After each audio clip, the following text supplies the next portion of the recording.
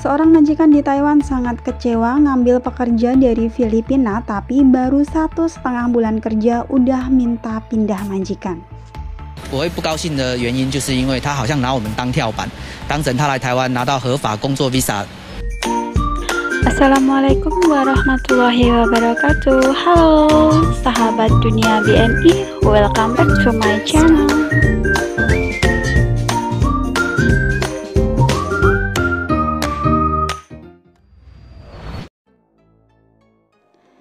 Iya, yang lagi viral di pemberitaan lokal Taiwan ya guys, di mana ada seorang majikan di New Taipei.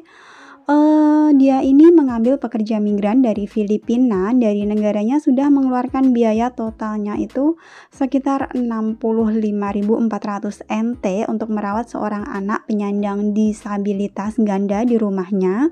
Tetapi pekerja migran tersebut bekerja hanya satu setengah bulan dan meminta untuk berganti majikan. Pekerja dari Filipina ini mengatakan bahwa dia sudah tidak uh, kuat atau sudah tidak sanggup lagi ya untuk menjaga sang anak tersebut sehingga dia minta pindah majikan. Padahal sebelum datang ke Taiwan, majikan ini sudah menjelaskan mengenai keadaan sang uh, anak yang menyandang disabilitas tersebut.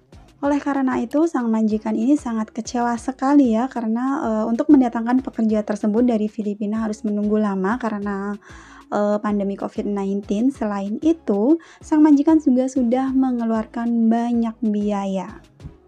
我会不高兴的原因，就是因为他好像拿我们当跳板，当成他来台湾拿到合法工作 visa 的一个跳板。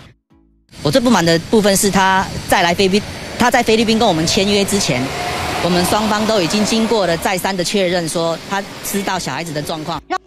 Kasihan juga sih ya sang majikan ini teman-teman karena udah keluar banyak biaya sampai 65.000 lebih tapi uh, baru bekerja satu setengah bulan si pekerjanya ini minta pindah majikan karena merasa udah tidak sanggup lagi.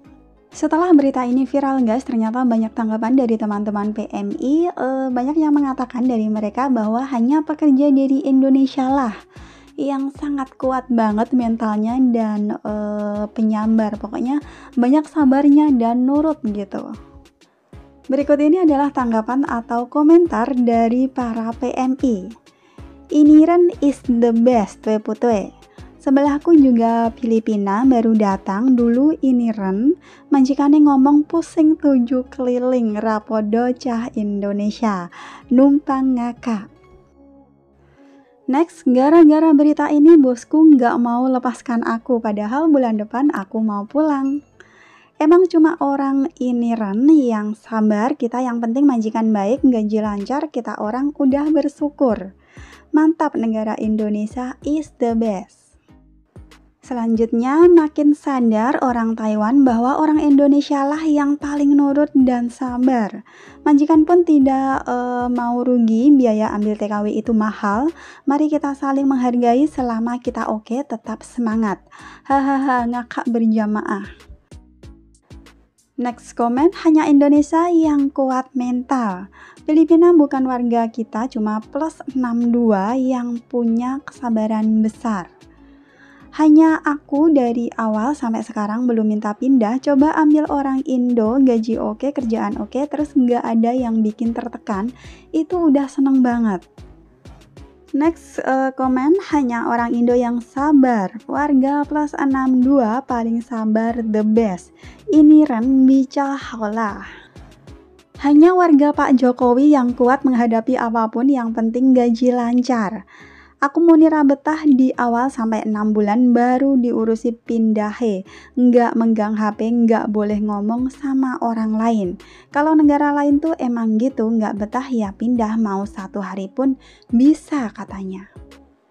Iya, bagaimana dengan uh, menurut pendapat teman-teman? Uh, kalau saya pribadi sih yes ya, karena emang menurut saya orang Indonesia itu sabar banget, mental kuat, terus nerimo iya Pokoknya kalau disuruh kerja apa pun itu selama bisa dikerjakan, selama masih kuat, dia akan kerjain walaupun sebenarnya bukan job mereka. Kadang banyak ya orang Indonesia yang dikerjakan di luar job padahal kalau mau lapor itu bisa saja majikan dilaporin karena udah dipekerjakan di luar job. Tapi kebanyakan dari teman-teman PMI ini mereka bisa nerimo guys. Uh, yang penting gaji lancar selama bisa dikerjakan, mereka akan kerjakan.